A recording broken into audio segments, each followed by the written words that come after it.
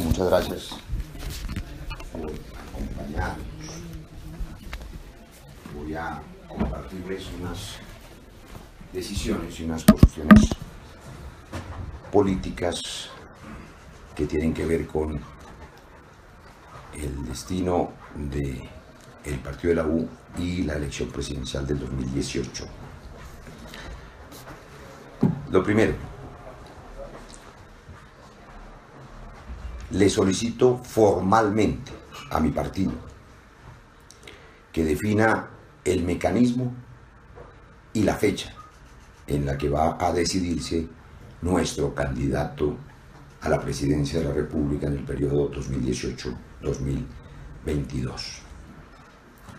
Lo segundo, para los analistas, para los opinadores, para los especuladores, para los encuestadores que tantas veces han fracasado y que hacen cábalas y ofician de arúspices con las cartas de naipe que están ya sobre la mesa. Les quiero compartir y les quiero poner sobre la mesa un hecho político que a veces se olvida. El partido de la U sigue siendo el partido más grande de Colombia. El partido de la U tendrá candidato presidencial propio y ese candidato estará al frente de 3 millones de votos y liderará el triunfo presidencial en el 2018. Cuenten con eso. Nosotros contamos con eso y la paz estable y duradera cuenta con el partido de la U. En ese camino, en tercer lugar, les quiero compartir que a nosotros particularmente no nos preocupa ni el nombre, ni el rostro, ni el género del candidato o candidata que garantice para Colombia un próximo presidente que lidere un gobierno incluyente, que garantice la paz estable y duradera y que abra un país de oportunidades. Es mucho más importante la paz que la presidencia de la República. Y en ese sentido estaremos liderando, aportando, construyendo desde la frontera del partido de la U una dinámica que estará al servicio de la construcción de una coalición de la esperanza, de un frente amplio por la paz, de una fuerza imbatible que llegue unida a la primera vuelta y garantice el triunfo presidencial en la segunda vuelta. No vamos a hacer eh, pronunciamientos populistas ni demagógicos, como suelen hacer los partidos políticos, proclamándose ganadores de antemano desde la primera vuelta. Hay unas realidades políticas ustedes las conocen tanto como yo, y seguramente habrá una elección de presidente de la República en dos vueltas. La U estará en esa coalición de la paz, en esa coalición de la esperanza en la primera vuelta. El partido de la U lideró la salida de Colombia del caos en que nos dejó el Caguán, ese sí que era un Estado fallido, y permitió el tránsito de Colombia desde el caos del Caguán hacia la seguridad y de la seguridad hacia el fin de la guerra con las FARC. Ese objetivo se está cumpliendo. El partido de la U asume la responsabilidad de construir ahora un nuevo país de la paz, un país de oportunidades, de construir un Estado que acompañe a las familias colombianas, un Estado que no deje a las familias huérfanas. Este ha sido un país huérfano de Estado durante toda la vida republicana. La mitad del territorio no tiene Estado presente. Las familias colombianas salen adelante con su propio esfuerzo. La mayoría de ellas vienen de abajo hacia arriba, levantándose cada mañana para lograr que sus hijos tengan un mejor futuro y el Estado está ausente. El partido de la U entiende que la paz no solo es el desarme de unos hombres armados, la paz es permitir que cada familia tenga al Estado protegiéndola a su lado y abriéndole las oportunidades que le han sido negadas. Un Estado que garantice la vida, la seguridad en las esquinas, que garantice el cupo en el colegio, la cama en el hospital, el empleo para el padre esforzado, la protección de las madres, cabeza de hogar, de las madres solteras, de las madres abandonadas, de las madres que son la mayoría de las madres de Colombia, que sacan adelante a sus hijos sin apoyo a veces ni de su compañero ni del Estado. Por eso nosotros no tenemos duda alguna de que la prioridad es construir un Estado capaz de garantizar esas condiciones de vida. Un Estado que le apueste a la vida y no a la muerte. En el 2018, sin duda, la gran decisión será entre el pasado y el futuro, entre la guerra y la paz, entre el odio y el miedo y la esperanza y la alegría. La U estará liderando esa esperanza y esa alegría. Hoy en día, la mayoría de las familias colombianas y muchos de los colombianos salen adelante de milagro, sobreviven de milagro, yo mismo en no pocas ocasiones me sorprendo de cómo ha sido casi un milagro que yo pueda estar hoy aquí conversando con ustedes. Pero no queremos un Estado donde la gente sobreviva de milagro, ni un país donde el cupo escolar sea un milagro, o conseguir un empleo sea un milagro, o salvar al familiar en un hospital sea un milagro, sino un país donde el Estado garantice esas posibilidades. El humo de la guerra no nos dejó ver otras tragedias. El humo de la guerra, distractor y perverso, no permitió que los colombianos viéramos más de 11.000 niños abusados sexualmente y maltratados cada año, tristemente, la mayoría de las veces en sus propias familias. El feminicidio, la violencia intrafamiliar, la delincuencia común, la corrupción, la pobreza, la miseria, han quedado todas aplazadas por el costo inútil de la guerra en vidas humanas y en recursos. 27 billones de pesos desperdiciados en bombas y en metralla, en lugar de invertirlos en la construcción de ese nuevo país de la paz. Ese es el reto y esa es la prioridad en el 2018. Finalmente, y en ese camino, yo invito fraternalmente a todos los partidos que nos han acompañado en la construcción de la paz, al Partido Liberal, al Partido Conservador, a la izquierda tan entusiasta como confundida en estas épocas, a los independientes, a definir cuanto antes candidaturas únicas a la presidencia de la República, para que con esas candidaturas únicas podamos construir esa coalición triunfante mediante el mecanismo de una consulta interpartidista con candidatos únicos en marzo del 2018, coincidente con la elección parlamentaria, de suerte que todos aquellos, los millones de colombianos que nos acompañaron con su voto por el sí, tengan un candidato presidencial único o una candidata presidencial única en la primera vuelta de mayo del 2018.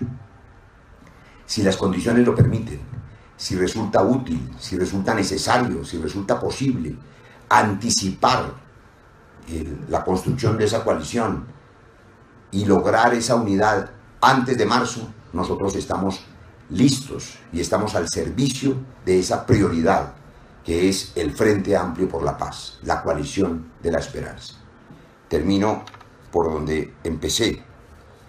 El Partido de la U va a estar al frente de esa posibilidad y va a aportar toda su fuerza para evitar un retorno al pasado. Esa es nuestra prioridad, porque es más importante la paz que la presidencia de la República. Pero para lograr el triunfo, cuenten con que el partido de la U tendrá candidato presidencial propio. Es responsabilidad de mi partido definir cuanto antes el mecanismo y la fecha en la que se proclame esa candidatura presidencial cuanto antes, mejor, para poder dedicarnos a construir la coalición de la esperanza. Esa es la comunicación que quería compartirles hoy. Si alguno o alguna tiene alguna pregunta, con mucho gusto. Doctor, Roy Barreras, buenos días. ¿Va a poner su nombre a consideración de, de, ese mecanismo que se, que se crea en el partido de la U para eh, someter su nombre a una eventual candidatura presidencial? Mi nombre está al servicio de mi partido, pero sobre todo al servicio de una paz estable y duradera.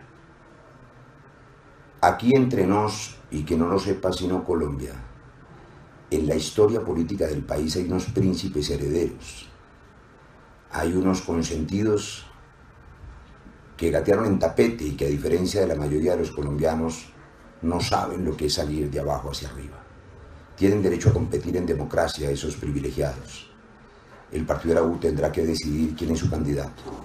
Si se identifica con las mayorías de Colombia, con los 7 millones de colombianos desplazados, con las víctimas del conflicto, con las mujeres jefes de hogar, con las madres cabeza de hogar, con las familias que salen adelante cada día, o tendrá opciones, claro, podrá apostar en el futuro algún príncipe heredero, pero me someteré a la decisión democrática de mi partido de manera respetuosa, pero sí le solicito hoy al partido que tome esa decisión pronto, el mecanismo y la fecha para que podamos afrontar el reto de garantizar una candidatura presidencial triunfante, teniendo para Colombia candidatura propia en el partido más grande del país, que es el Partido de la U. Parece que ya habría tomado ventaja Vargallera en el tema de candidaturas presidenciales a la U. ¿Usted cree que ya es el momento que renuncie el toro Iragorri, que renuncie el embajador en Estados Unidos? Usted tiene razón. El príncipe heredero de quien usted habla, pues nos ha tomado ventaja porque lleva como candidato presidencial 50 años. O mejor dicho, es candidato desde que nació. Las élites que han dominado este país y que no saben lo que es la necesidad y lo que es salir adelante con esfuerzo, le han tomado ventaja a todos los colombianos durante 200 años. Con tres o cuatro excepciones, son ellos los que han mandado y dominado, y a muchos de ellos les sirve el discurso de la guerra para que a través del miedo los colombianos vuelvan a entregarse en las manos poderosas de la autocracia de suerte que tienen esa ventaja. Pero le recuerdo a un eh, ilustre literato de hace más de dos mil años, Esopo, y la fábula de la liebre y la tortuga. Eso va a ocurrir. Eh, doctor Roy, usted habla de una coalición eh, de los partidos que apoyan la paz para llegar a la presidencia y habla de que ese candidato se elija en una consulta en marzo. Eh, ¿No cree que en marzo es un poco como tarde, precisamente por lo mismo que le preguntaba a él, porque Vargalleras, perdón, William, porque Vargalleras ya ha cogido ventaja, porque hay otros candidatos, por ejemplo, los uribistas que están haciendo campaña también desde el año pasado. Eh, ¿No cree que es un poco tarde para los que respaldan el proceso de paz esperar hasta marzo a una consulta interna con el candidato? Creo que una consulta interpartidista en marzo del 2018 es el mecanismo más claro y preciso para definir un candidato presidencial único en primera vuelta. Eso no ha ocurrido hasta ahora, esto es inédito. Lo que vamos a hacer nunca ha ocurrido. Los partidos siempre han llegado fragmentados y divididos a la primera vuelta. De manera que este procedimiento garantizaría el triunfo, pero también digo porque es absolutamente razonable pensar que hay candidatos que han tenido la ventaja de llevar en la última etapa de su vida seis años en campaña con 60 billones de pesos distribuidos y repartidos y que aunque a pesar de semejante ventaja apenas están en un dígito en las encuestas, porque hoy nadie supera ni el 50%, ni el 30%, ni el 20% de la intención de voto, de manera que todo está por verse. También digo, repito, que si resulta necesario, si resulta posible, si resulta útil anticipar la construcción de esa coalición, nosotros estamos dispuestos. Es decir, habrá una coalición de la esperanza, habrá un frente amplio por la paz, lo que está por definir la fecha, con un límite máximo que es marzo, pero bien puede ser antes, bien puede ser antes. Yo incluso invito de manera fraternal y personal, respetando la decisión interna de cada partido, a algunos protagonistas importantes de la política y a sus partidos, a que asuman de una vez la decisión de ciertos liderazgos. Yo animo a Clara López a que salga del gabinete a liderar fuerzas de izquierda independientes, que nos ayude como nos ayudó de manera invaluable en la construcción de la paz y en el Frente por el Sí. También invito al Partido Conservador a definir prontamente una candidatura. Creo que el ministro de Hacienda, Mauricio Cárdenas, bien podría prestarle su liderazgo a la democracia y a su partido jugando en esta coalición. Si no es él, debe haber un candidato conservador que garantice la identidad de ese histórico partido. Invito al Partido Liberal, fraternal y respetuosamente, con cariño, con entusiasmo, a que definan cuanto antes también su candidatura presidencial, porque la posibilidad de esa coalición depende de que tengamos candidatos únicos. El partido de la U va a tomar esa decisión y esperemos que los demás partidos nos acompañen en el propósito común, que es garantizarle a Colombia el futuro, no el pasado, una paz estable y duradera y no el regreso a la guerra y al desperdicio de vidas y de recursos que han impedido que Colombia pueda resolver sus otros dramas, como la pobreza, la miseria, la corrupción, la delincuencia común o la violencia intrafamiliar, que es aterradora. Muy bien.